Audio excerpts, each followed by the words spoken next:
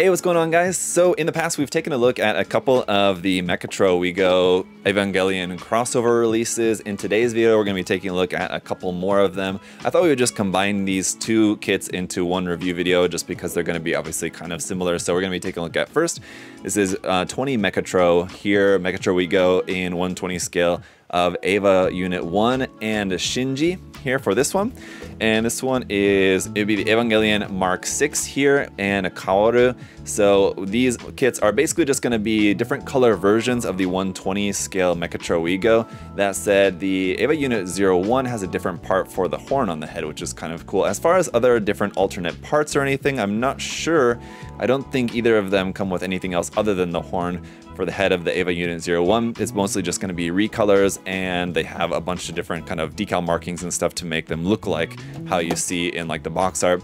And then of course they also feature some really cool 120 scale uh, resin model kits there of the characters in this really cute style there. You may recognize the character illustration. I'm trying to find the artist's name on here because I can't remember off the top of my head, but some of one of you will know and you'll let me know in the comment section below anyway. I always love the artwork on the Mechatro WeGo boxes. It's always really, really nice and these are no exceptions, the Evangelion version. So if you're an Evangelion fan, uh, you will definitely also appreciate these. So let's go ahead and check them out. The Shogouki first, and then we'll check out the Mark 6 here as well. So aside from just the box art in general, one thing that I really like about these Mechatro Evangelion crossover releases is not like the main artwork, but like all the stuff in the background, all the kind of extra references to different stuff uh, from Evangelion that are there in the background here for these releases. So really, really great box art. It would be awesome to have like posters or like an art book or something available with some of the Mechatro art in it. I think would be very nice. So on the box ends here, we're going to have it in typical style for the Mechatro line, where on one side we've got it in English,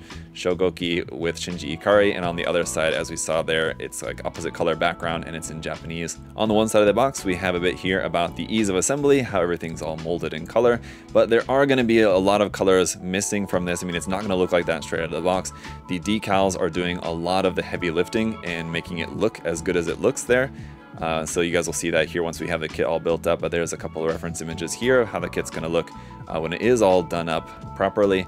And here you can see, this is an image showing the actual uh, approximate size. So you can kind of see this photograph is scaled to be so that the figure and the model kit are there in like a one-to-one -one size, which is kind of cool. On the other side of the box, we got to look at some other different products in the Mechatro lineup from Hasegawa. And the list price here for this one at 4,300 yen. Popping the top here for this one, we'll take a look at the decals and instructions and then the runners. But taking a look at the instruction manual here, first we've got the same artwork as what we had on the front, just minus the background color or just with a white background now in this case. I like how he's like sitting on a ball, but it's actually like a Evangelion core there I'm just kind of realizing. I always just thought it was like just like a ball, but it's a core, isn't it? It's dripping. Very cool. On the back side, which kind of wraps around to the inside a little bit, is going to be our color guide. Here we have a bunch of nice images showing where all the decals go, and also our color guide is right there for both the main kit and for the Shinji figure included.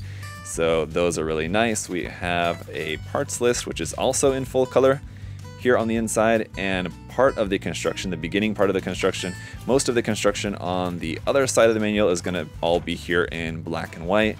So there's all the construction of that. Let's take a look at these water slide decals and as you can see we have some very large uh, like colors that are going to be made up by just these massive decals and from my experience trying these out, it's quite difficult to get some of these on because they're really large and curved areas, so it can be tricky. Some of these other ones, though, obviously not going to be quite as bad. Smaller ones, the NERV logo uh, markings, the Chubu markings here. You also have water slide decals included for the eyes for Shinji, which is nice to have those in there as well. On that note, here is how the Shinji figure is going to come just uh, molded here in resin. So just a handful of parts, pretty simple basic construction there for that, and that should look really nice once that's all built and painted up. As for the runners then, we've got some Polycaps PC14 here in gray, Runners A and B are going to be a bunch of our purple armor parts here for the outside. Runner C is going to be some parts here in that nice bright kind of Evangelion style fluorescent orange. And then we've got a bunch of runners here in black. So runner D here, some parts for the inside. Runners E, F, G, and J are going to be our other ones, so kind of skipping through the alphabet there a little bit for some of these.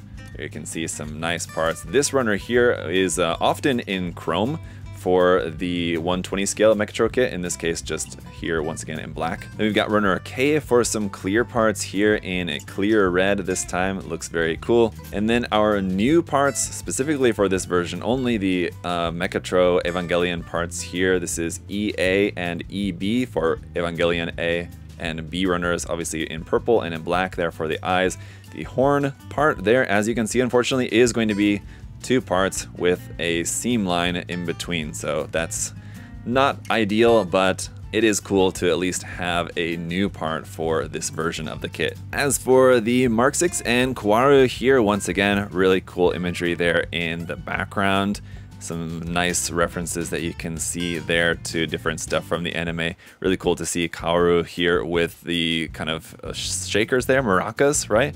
I always like to see the style here for the figures that are included with these. Very cool. On the one end here, white background with Japanese. On the other side here, dark blue background here with English, Mark 6 and Kaworu Nagisa. On the side of the box here, easy assembly and nice photographs there of the painted kits, the model and figure front and back. The model there doing its kind of like uh, ascension or descension kind of pose there from the anime, and then once again a one-to-one scale like photo here of the painted builds. On the other side, once again, just some more different releases available in the Mechatro lineup of kits there from Hasegawa. And the list price for this one at 3,900 yen. Popping the top on this, and we can expect basically all the same runners. It's not going to have the runners specific for the horn on the head. So it's basically just going to be all the same runners of your average uh, regular 120 scale Mechatro kit here. But here we have the instruction manual once again, just with the white background and illustration there. On the back side, we have reference images of the painted models along with our color guide down there at the bottom. This is also going to be our decal guide right here. Really cool, nice big like a SEELE logo marking there for the back side of that. It's going to be very nice, but as we saw with the Shogouki with the EVA Unit 01, we've got some pretty massive waterslide decals here for this for a round on the kit. Some smaller ones and all the printing quality, everything on here looking really nice. For the eye decals, obviously going to be pretty minimal. It's just these kind of like, because uh, his eyes are closed on the figure. So that's pretty simple enough. For the figure, here's how that's to look. Once again, just a couple parts, mainly for the body, one of the arms and the hair and head parts are separate on there. And getting into the runners here, PC14 once again, they're in gray. Runners A and B are going to be in this main blue color there for the outer armor. Runner C in that really nice fluorescent kind of orange color. Runners D, E, and F are going to be all of our kind of internal parts, not black in this case, in a just kind of medium gray color, interestingly enough. runner G is in a kind of lighter bluish gray color, looks really nice. Runner J is in black here, once again not any chrome plated parts, which is kind of typical as I said. And then runner K in this case, instead of being in clear red, is just in plain clear. And that's it for all the runners. Alright, let's take a look at the build kits then.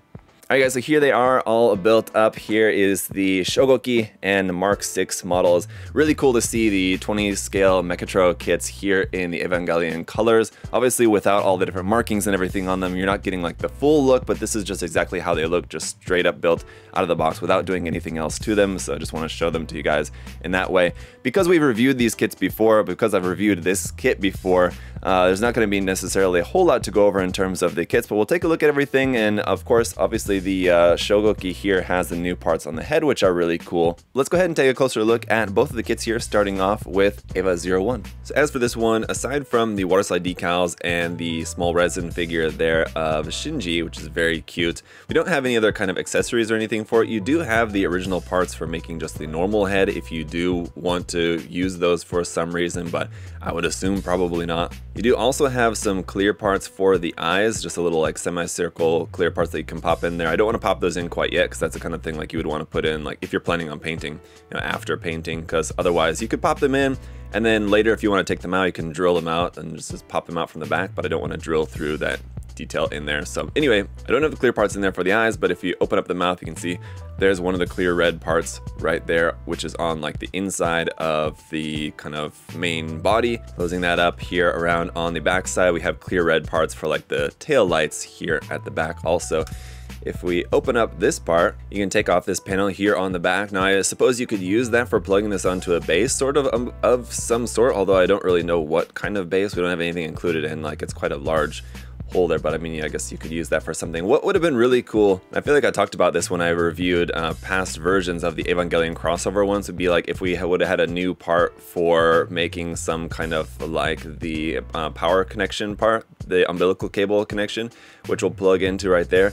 That would have been really cool. But anyway, just treating this as though you guys have never seen this kit before, and so this is your first time seeing it, just to talk a little bit more about some of the articulation. The joints, uh, the main joints for the arms and legs are connected via ball joints here, and then we have a single bend at the elbow, which is gonna give you about 90 degrees there like that. The wrist will turn, uh, the claw sort of portion, and then of course you can open that up, the claw there as well. The arm will also rotate at the elbow here, if I can show that to you guys, it will rotate there as well. And then down here at the hip again, the leg is just connected via a single ball joint. Our knee bend is gonna give you about 90 degrees or so there as well. The foot is just on a single ball joint here as well. This little bit of armor here on the side can move, although not really all that much. That little circle bit right there is just kind of hanging loosely. Now, aside from that, we can open up the whole front side of this and you can see that's where your standing uh, figure would be in like the normal kits they come with a little like 120 scale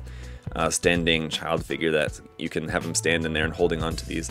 But this uh, extends out. There's like a little arm there that extends and then they can be standing on this and holding on to like the controls here inside the sort of cockpit or inside the body of the Mechatro sort of as it were.